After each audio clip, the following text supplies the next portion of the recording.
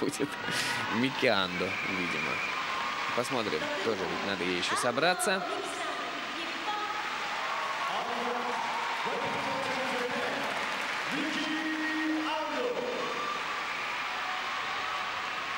Музыка из кинофильма «Астерикс и Обеликс. Миссия Клеопатра». Там еще две музычки, но за основу взята эта.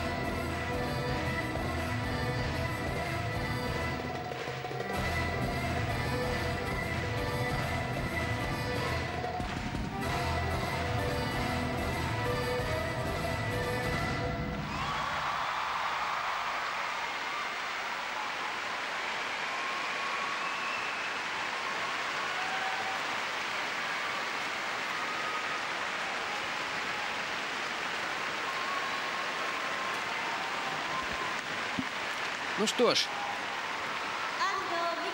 Финал Гран-при, к сожалению, не стал в женском одиночном катании, да и в мужском одиночном катании триумфом чьего-либо чистейшего проката.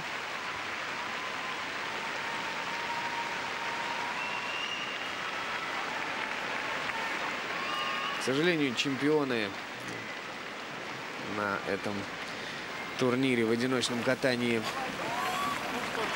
просто сделали меньше ошибок, чем их соперники.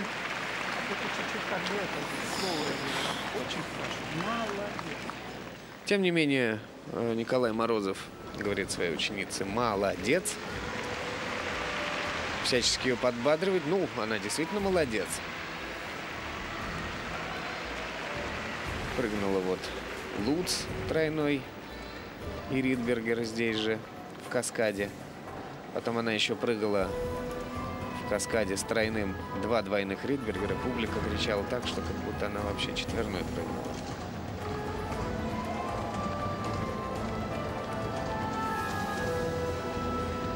Я, конечно, за здоровую поддержку и боление, но без фанатизма.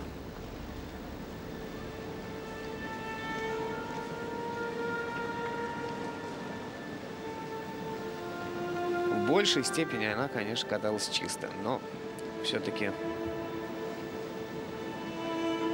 девушки в этом сезоне многие показывают не такое мощное катание,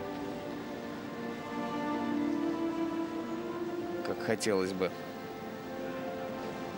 Вот этот каскад буквально свел зрителей с ума на стадионе.